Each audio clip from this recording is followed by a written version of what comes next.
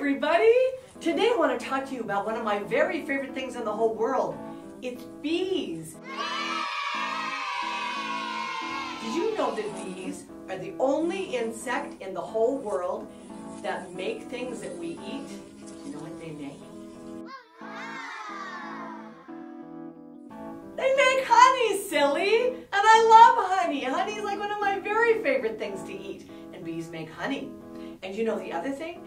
Bees are also really, really hardworking. So if you see a bee buzzing around and it looks like they're not really doing anything important, they are. They are working so hard. They're working so hard they travel from flower to flower to flower and pollinate the flowers and that's how the flowers grow and also crops that we eat. So bees are really, really, really important. And you know what?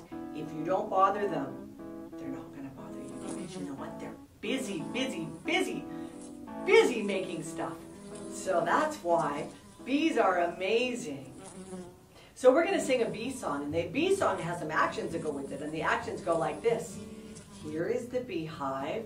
Where are the bees?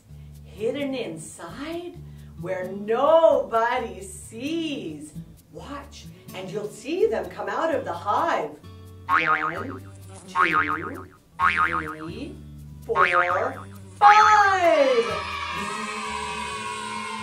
And we'll do it with the other hand too. Here is the beehive. Where are the bees? Hidden inside where nobody sees.